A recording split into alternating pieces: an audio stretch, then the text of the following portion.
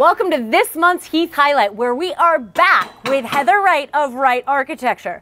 But today, we're talking about something that most of you have probably heard of, but don't know much about. It's called an ADU, an accessory dwelling unit. Maybe you've heard of it before, you called it an in-law, you called it a granny unit. Well, officially called an ADU. Today, we're gonna talk about the pros, the cons of your very own ADU. So we're here at 430 B Street with Heather Wright. And in building 430 B Street, I had this extra land. And I thought, okay, well, I'm an investor and I want some passive income down the road. So what do I do with this extra lot? Yes, it's great to have a yard, but when California changed all the rules on adding ADUs, I called Heather and I said, Heather, what can I do with this space? Well, she told me all about the advantages of an ADU, but she also taught me about JADUs. Can you explain a little bit about the difference between ADUs, JADUs, who gets to add them, who doesn't, and the overview of all of that?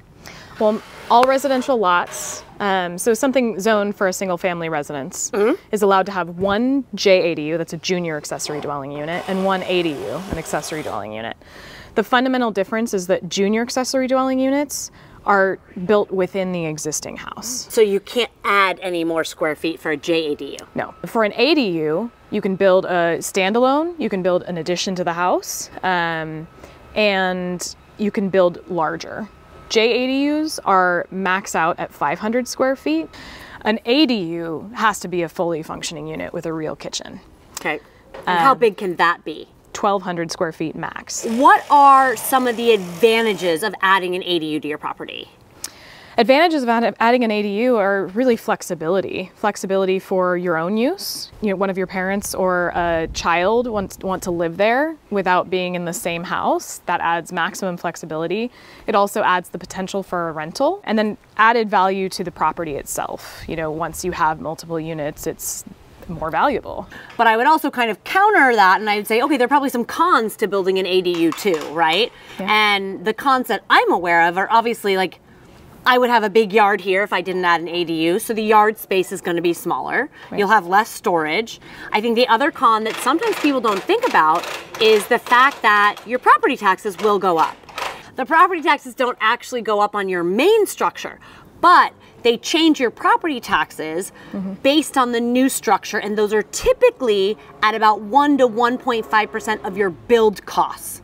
So if your ADU costs $200,000 to build, your property taxes will go up by 1 to 1.5% of that build cost per year. So that right. is definitely a con. That's and it costs money to build an ADU, right? Right. You know, in mo- in my experience, the pros really do outweigh the cons if you can afford to build it in the first place.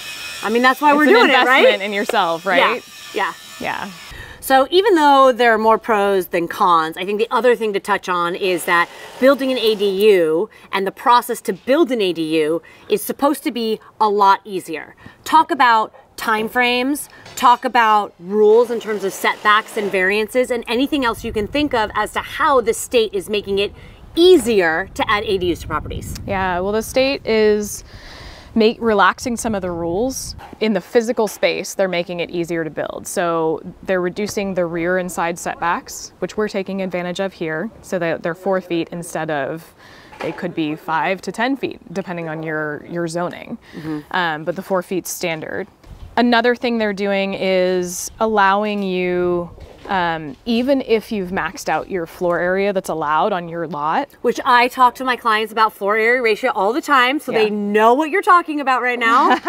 well, yeah, and just to recap, it's the maximum interior built space that is allowed for your given lot. And it's a calculate it's a ratio a of house to lot, yep. right?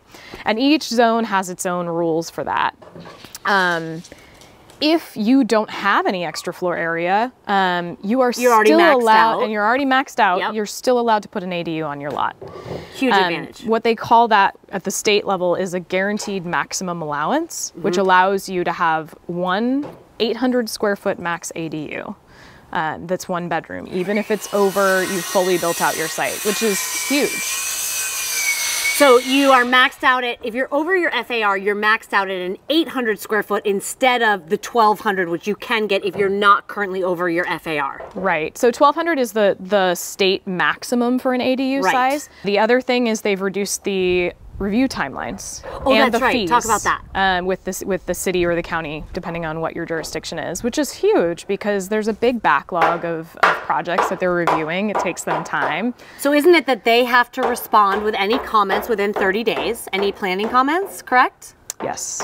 And then they have to, if you address those comments right away, they only have another 30 days to approve you, correct? Correct. Yeah. So it's a 60 day from submission to build time, to build date, yeah, which is amazing. It which is amazing be- because this has been a year and a half. yeah. So I'll take 60 days over a year and a half anytime. Yep. yeah.